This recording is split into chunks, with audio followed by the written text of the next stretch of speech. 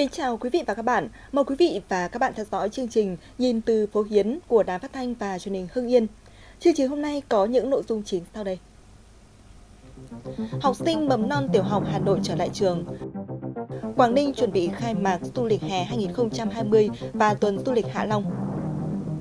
Chủ động phòng dịch COVID-19, không quên phòng bệnh sốt xuất huyết, không để dịch chồng dịch xét xử sơ thẩm vụ gian lận điểm thi Trung học phổ thông quốc gia tại Hòa Bình. Mở đầu chương trình là các thông tin về giáo dục. Thưa quý vị và các bạn, sau khi học sinh các khối trung học cơ sở, trung học phổ thông và sinh viên đã trở lại trường vào tuần trước, thì ngày 11 tháng 5 là ngày đầu tiên học sinh cấp mầm non và tiểu học tại Hà Nội bắt đầu đi học lại. Theo thống kê của Sở Giáo dục Đào tạo Hà Nội, có gần 1.900 trường mầm non tiểu học mở cửa đón học sinh. Ngày đầu tiên trở lại trường sau một thời gian dài nghỉ học do dịch Covid-19, bạn nhỏ này tỏ ra rất háo hức khi gặp lại bạn bè và thầy cô. Đây cũng là tâm trạng chung của các bạn nhỏ trong ngày đầu tiên đi học trở lại. Con thấy rất vui vì được gặp lại các bạn ạ. Hôm nay con cảm thấy rất là vui và háo hức khi sau gần 4 tháng nghỉ học và đây cũng là năm cuối cấp của con nên là thời gian cũng rất là ngắn nên là con cũng rất vui vì đã được gặp lại các bạn và thầy cô ạ.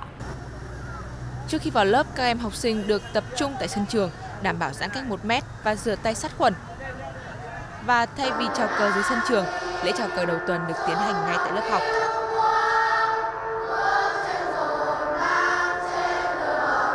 Cái lớp học thì bố trí rất là thông thoáng,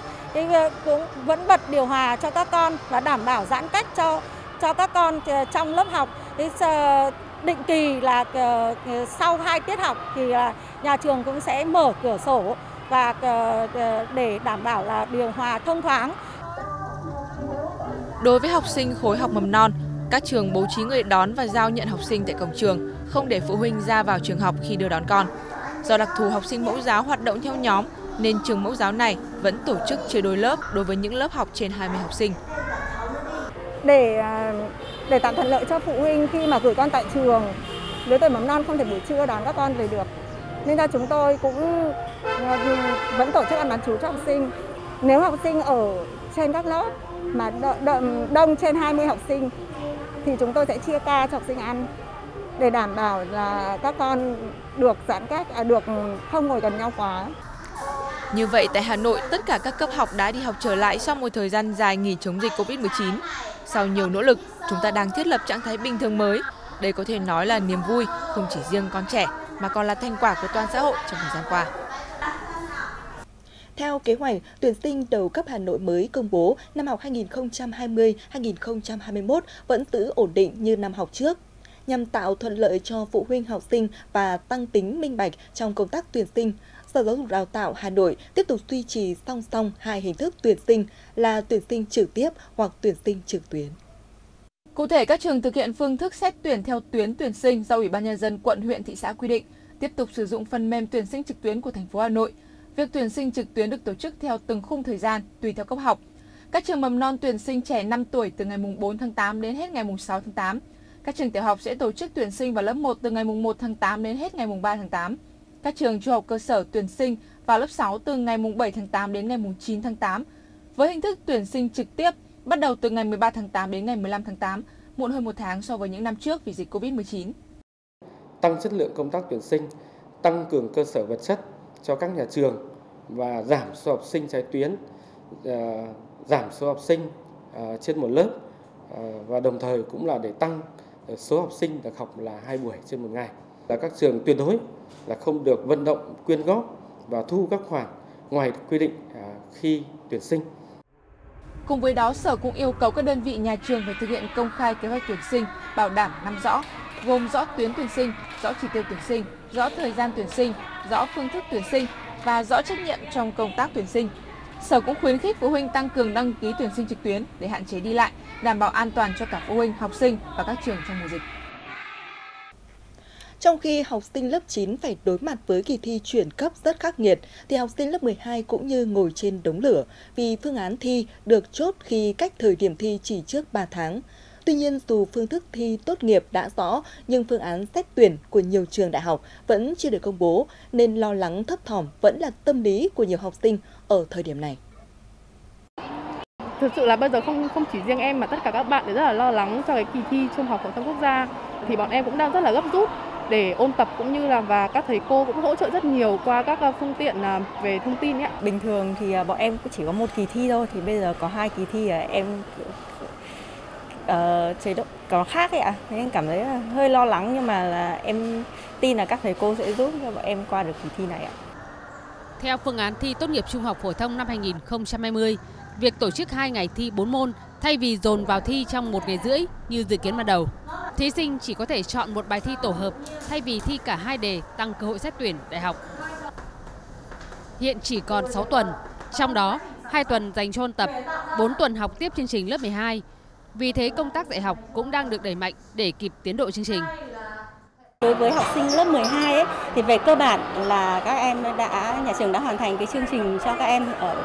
cái tháng tư vừa rồi rồi. Đấy, tức là khi quay trở lại trường bắt đầu từ ngày hôm nay thì là học trò lớp 12 sẽ được các thầy cô giả soát lại toàn bộ những cái kiến thức trong cái chương trình học online vừa rồi và sau đó là sẽ tổ chức ôn tập cho các em học sinh để thi học kỳ 2. Khi chúng ta ôn tập thì nên ôn tập theo một cái chủ đề liên quan đến nội dung thi trung học phổ thông quốc gia chứ không phải là dạy theo bài mà nhóm cả chương đấy bao nhiêu chủ đề chúng ta luyện tập theo dạng, theo chương, theo chủ đề thì nó sẽ hiệu quả hơn. Trước áp lực của kỳ thi lần này, mới đây Bộ Giáo dục và Đào tạo đã công bố đề thi tham khảo với độ phân hóa giảm hẳn so với đề thi minh họa lần 1 và đề thi Trung học phổ thông quốc gia của những năm trước. Động thái này sẽ giúp học sinh và giáo viên ổn định tâm lý cũng như có định hướng ôn tập tốt hơn cho kỳ thi này. Tuy nhiên, dù đề thi thế nào hay phương án xét tuyển của các trường ra sao thì quan trọng nhất là thí sinh vẫn phải nắm chắc kiến thức và tập trung ôn tập trong giai đoạn nước rút này. Sau khi hoàn thành thời gian cách ly và áp dụng nhiều biện pháp chặt chẽ phòng chống dịch trong tháng 4 vừa qua, theo như thông báo của Bệnh viện Bạch Mai, bệnh viện này đã khám chữa bệnh bình thường trở lại từ ngày 11 tháng 5. Cụ thể, từ ngày 11 tháng 5 năm 2020, hoạt động khám bệnh chữa bệnh ngoại trú, tái khám và khám theo yêu cầu trở lại hoạt động bình thường, hoạt động cả ngày thứ Bảy và Chủ nhật, tiếp nhận người bệnh từ cơ sở khám bệnh chữa bệnh khác chuyển đến và từ cộng đồng, khôi phục hoạt động mổ phiên, Tuy nhiên, để đảm bảo an toàn cao nhất cho người bệnh và nhân viên y tế, Bệnh viện Bạch Mai yêu cầu người bệnh, người nhà người bệnh, khách đến làm việc tại bệnh viện đều phải tuân thủ khai báo y tế, kiểm tra thân nhiệt, sát khuẩn tay nhanh và đeo khẩu trang. Theo Ban Chỉ đạo Quốc gia phòng chống dịch bệnh COVID-19, tính đến 6 giờ sáng ngày 12 tháng 5, Việt Nam trải qua 26 ngày liên tục, không có ca mắc mới do lây nhiễm trong cộng đồng. Việt Nam đã tổ chức thành công các chuyến bay đưa công dân từ Malaysia trở về nước an toàn và thực hiện cách ly tập trung. Đến thời điểm này đã có 249 bệnh nhân COVID-19 tại nước ta được công bố khỏi bệnh. Hiện còn 39 bệnh nhân đang điều trị tại 6 cơ sở y tế tuyến trung ương và tuyến tỉnh. Đa số các bệnh nhân đều có sức khỏe ổn định. Về sức khỏe của bệnh nhân số 91 là nam phi công người Anh, hôm qua đã được hội trần để đánh giá khả năng ghép phổi. Đây là ca bệnh COVID-19 nặng nhất hiện nay ở nước ta tính đến thời điểm này. Kính thưa quý vị, theo số liệu thống kê của Cục Y tế Dự phòng, tuần 17 cả nước ghi nhận 605 trường hợp mắc sốt xuất huyết. Lũy tích từ đầu năm, cả nước ghi nhận gần 25.300 trường hợp mắc tại 58 tỉnh thành phố, trong đó có 4 trường hợp tử vong tại Bình Định, Bình Phước, Cần Thơ, Tây Ninh, giảm 55% so với cùng kỳ năm ngoái. Tại Hà Nội ghi nhận 104 ca mắc phân bố tại 21 trên 30 quận. Chủ động phòng dịch COVID-19, không quên phòng dịch sốt xuất huyết sẽ không để dịch chồng dịch. Công trình xây dựng môi trường ứ động nước được xem là điều kiện thuận lợi để xuất hiện lăng quăng bọ gậy. Phường Quan Hoa, quận Cầu Giấy là địa bàn có dịch sốt xuất huyết tương đối phức tạp trong 3 năm trở lại đây. Vì vậy, ngay từ thời điểm này, đội xung kích của phường đã chủ động đi từng ngõ, gõ từng nhà và lật từng dụng cụ. Cảm thấy là cũng hơi lo nếu mà cứ để nhiều như thế này là mũi nhiều như này cũng là cũng hơi lo thật. Còn nếu mà thực sự, nếu mà để mình tự túc thì mình không thể biết được cách xử lý như thế nào. Thời điểm này là thời điểm bắt đầu vào đầu mùa hè là cái giai đoạn mà thời tiết có nhiều cái sự thay đổi thuận lợi cho xuất huyết phát triển. Chính vì vậy mà chúng tôi cũng đã chủ động đẩy mạnh công tác tuyên truyền và thực hiện cái việc là đôn đốc, triển khai công tác tổng vệ sinh môi trường, diệt bọ gậy ở trong các hộ dân cũng như là ở quy mô toàn phường. Nguy cơ sốt xuất huyết không chỉ xuất hiện tại các công trình xây dựng mà nhiều ổ dịch nằm trong chính khu vực nhà dân. Mặc dù không khó để lật úp các dụng cụ, nhưng dường như đây vẫn là việc của đội xung kích phòng chống dịch, chứ không phải là sự tự giác của mỗi gia đình. À, hiện nay thì à, nguy cơ về sốt huyết à, trong cộng đồng cũng đang có nguy cơ. Đấy. Chúng tôi cũng đã triển khai đội vệ sinh môi trường xuống hướng tuyên truyền, hướng dẫn bà con biện pháp phòng bệnh cũng như là hướng dẫn bà con thực hiện cái vệ sinh môi trường. Trong những năm qua, quận Cầu Giấy được xem là quận có diễn biến phức tạp về sốt xuất huyết. Năm nay, quận ghi nhận 4 trường hợp mắc. Vì vậy, trước thời điểm học sinh trên địa bàn đi học trở lại từ 11 tháng 5, y tế quận đã chủ động tổng vệ sinh môi trường và phun thuốc phòng bệnh. Ngay từ đầu mùa thì chúng tôi cũng đã ngoài cái việc tổng vệ sinh định kỳ thường xuyên chúng tôi kiểm tra cơ sở vật chất, kiểm tra những cái về à, thực hiện cái công tác lật úp, kiểm tra những cái đồ dùng mà có ờ, động chứa các cái nước thải đấy và à, chúng tôi cũng đã um, liên hệ với trung tâm y tế quận để mà phun thuốc uh, diệt mũi. Cùng với phòng chống dịch COVID-19, việc chính quyền cùng y tế chủ động phòng chống dịch sốt xuất huyết sẽ đảm bảo ổ dịch được xử lý kịp thời, hạn chế số ca mới mắc sốt xuất huyết. Chương trình sẽ được chuyển sang một số thông tin đáng chú ý khác. Ủy ban Nhân dân tỉnh Quảng Ninh vừa thống nhất tổ chức khai mạc du lịch hè 2020 tại khu du lịch nghỉ dưỡng FLC vào ngày 16 tháng 5. Đồng thời, tuần du lịch Hạ Long Quảng Ninh bắt đầu từ ngày 16 tháng 5, dự kiến sẽ có nhiều chương trình, sự kiện thu hút người dân và du khách tham gia như lễ hội văn hóa ẩm thực, móng cái, cuộc thi triển lãm cây tùng La Hán Cô Tô, chùm văn hóa văn nghệ, ẩm thực tại Uông Bí. Các sở ngành địa phương đã chủ động xây dựng kế hoạch chuẩn bị các hoạt động du lịch hè, trong đó quan tâm tới quảng bá xúc tiến kích cầu du lịch, hoàn thiện cơ sở vật chất và xây dựng chiến dịch truyền thông bài bản, đồng thời đảm bảo các điều kiện và phương án phòng chống dịch Covid-19. Nhân dịp này sẽ miễn phí vé tham quan các điểm tham quan như Vịnh Hạ Long, khu di tích danh thắng Yên Tử trong tháng 5 và một số ngày lễ trong tháng 6 tháng 7, ngày Quốc tế Thiếu nhi mùng 1 tháng 6, ngày Gia đình Việt Nam 28 tháng 6, ngày Du lịch Việt Nam mùng 9 tháng 7 và ngày Thương binh Liệt sĩ 27 tháng 7. Đại diện Cục Hải quan Lào Cai vừa cho biết, thông tin cập nhật trong tháng 4, đơn vị giải quyết thủ tục xuất nhập khẩu có 216 doanh nghiệp, tăng 23 doanh nghiệp so với 3 tháng trước đó. Đáng chú ý trong tháng 4, cả xuất khẩu và nhập khẩu tại Cục Hải quan Lào Cai đều tăng mạnh. Trong đó kim ngạch xuất khẩu đạt 109,3 triệu đô la Mỹ, tăng 97% so với tháng trước, nhập khẩu tăng 72,6%. Lũy kế trong 4 tháng đầu năm, Cục Hải quan Lào Cai giải quyết thủ tục cho 328 doanh nghiệp, tăng 29 doanh nghiệp so với cùng kỳ năm 2019. Tuy nhiên, dù kim ngạch xuất nhập khẩu tăng mạnh trong tháng 4, nhưng do sự sụt giảm trong quý 1, nên tính chung 4 tháng đầu năm vẫn chỉ bằng 84,4% so với cùng kỳ năm ngoái. Tỉnh Quảng Ninh hiện có trên 3.000 ha mặt nước dành để nuôi hàu hà, nằm tập trung ở huyện Vân Đồn, thị xã Quảng Yên, thành phố Móng Cái, huyện Tiên Yên. Những năm qua tận dụng lợi thế mặt nước, nhiều hộ dân đã phát triển nuôi hàu hà mang lại thu nhập ổn định. Gia đình ông Nguyễn Văn Cường, thôn 4, xã Hoàng Tân, thị xã Quảng Yên có 6 hecta nuôi hà treo và hàu. Năm ngoái, gia đình ông thu lãi gần 300 triệu đồng. Năm nay do ảnh hưởng của dịch Covid-19 nên việc tiêu thụ chậm hơn, nhưng gia đình vẫn thu hoạch và bán dần, mở rộng thị trường để tiêu thụ. Nếu bán hết số hàu và hà sẽ lãi hơn 100 triệu. Nói chung là lợi nhuận kinh tế của hà này là cũng cao, bởi vì cái đầu tư vốn là nó cũng bình thường thôi. Thu về nếu mà nó mà không chết là cũng được ăn.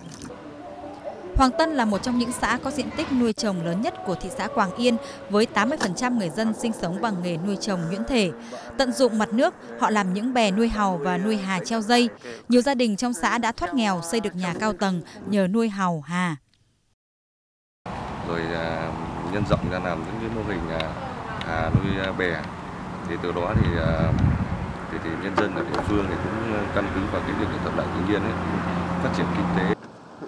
Hào hà là loại nhuyễn thể sống ở ven sông dễ nuôi, ít tốn công chăm sóc. Đặc biệt điều kiện tự nhiên, mực nước thủy triều lên xuống ở đây rất thích hợp để loại nhuyễn thể này phát triển tăng trưởng nhanh. Sau khoảng từ 3 đến 5 tháng nuôi là có thể thu hoạch, cho thu nhập từ 100 đến 150 triệu đồng một hecta một năm.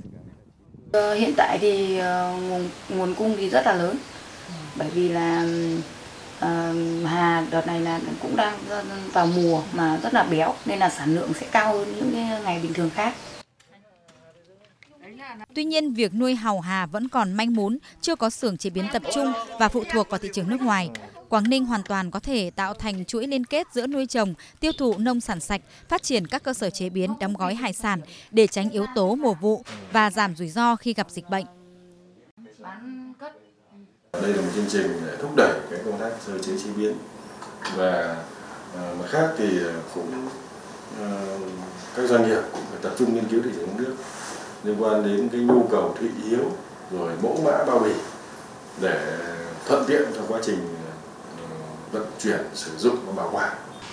Việc nâng cao năng lực chuỗi liên kết nuôi trồng chế biến và tiêu thụ nông sản sạch là việc làm cần thiết để nâng cao giá trị sản phẩm, tạo vùng sản xuất chuyên canh chuyên nghiệp bài bản. Hơn nữa, các hộ nuôi trồng cần chủ động tìm các đầu ra, các kênh phân phối, tiêu thụ hàng hóa tại chợ truyền thống lớn trong tỉnh. Bởi việc chậm thu hoạch các sản phẩm nhuyễn thể không chỉ gây thiệt hại về kinh tế mà còn ảnh hưởng đến môi trường sống khi thời tiết đang bắt đầu nắng nóng. Theo báo cáo của Ban Chỉ huy Phòng chống thiên tai và tìm kiếm cứu nạn tỉnh Phú Thọ, mưa lớn kèm theo rông lốc tiếp tục xảy ra trên địa bàn từ đêm ngày 9 tháng 5 đến dạng sáng ngày 10 tháng 5, khiến cho một người bị thương, hơn 200 công trình gồm nhà ở, trường học, công trình văn hóa bị tốc mái hư hỏng và hàng trăm hecta lúa, hoa màu, rừng sản xuất, cây đô thị bị thiệt hại nặng nề. Trong đêm, lực lượng chức năng đã có mặt để phân luồng giao thông và xử lý thiệt hại lãnh đạo tỉnh Phú Thọ đã yêu cầu huy động lực lượng tại chỗ, ưu tiên hỗ trợ các hộ bị thiệt hại về nhà ở và các công trình trường học và đảm bảo sớm cấp điện trở lại. Trước đó trong hai ngày ngày 8 và 9 tháng 5, mưa lớn kèm theo rông lốc đã làm một người bị chết, 8 người bị thương, gây thiệt hại nhiều tài sản, nhà cửa và hoa màu của người dân. Ngày 11 tháng 5, Tòa án Nhân dân tỉnh Hòa Bình mở phiên xét xử sơ thẩm các bị cáo liên quan đến vụ gian lận điểm thi Trung học phổ thông quốc gia tỉnh Hòa Bình năm học 2017-2018. Tại phiên tòa, có 15 bị cáo liên quan đến vụ án về các tội danh lợi dụng chức vụ quyền hạn trong khi thi hành công vụ, trong đó bị cáo Đỗ Mạnh Tuấn bị truy tố về hai tội nhận hối lộ và lợi dụng chức vụ quyền hạn trong khi thi hành công vụ, bị cáo Hồ Trúc về tội đưa hối lộ. Theo cáo trạng, trong quá trình thực hiện nhiệm vụ vì vụ lợi, động cơ cá nhân, các bị cáo đã lợi dụng chức vụ quyền hạn được giao, lợi dụng mối quan hệ đồng nghiệp, quan hệ cá nhân để cấu kết can thiệp nâng điểm bài thi cho các thí sinh tham gia kỳ thi Trung học phổ thông quốc gia 2017 và 2018, tạo điều kiện để các thí sinh xét tốt nghiệp trung học phổ thông và xét trúng tuyển vào các trường đại học cao đẳng. Trong đó 65 thí sinh dự thi năm 2018 và một thí sinh dự thi năm 2017 đã được nâng điểm thi để xét tốt nghiệp trung học phổ thông quốc gia và dự tuyển vào các trường đại học. Trong đó có 45 thí sinh trúng tuyển đã bị buộc thôi học. 10 thí sinh đang theo học vì kết quả chấm thẩm định vẫn đủ điểm xét tuyển, 6 thí sinh trúng tuyển nhưng không nhập học, một thí sinh xét nhưng không trúng tuyển, 3 thí sinh không xét tuyển. Phiên tòa dự kiến diễn ra đến hết ngày 18 tháng 5.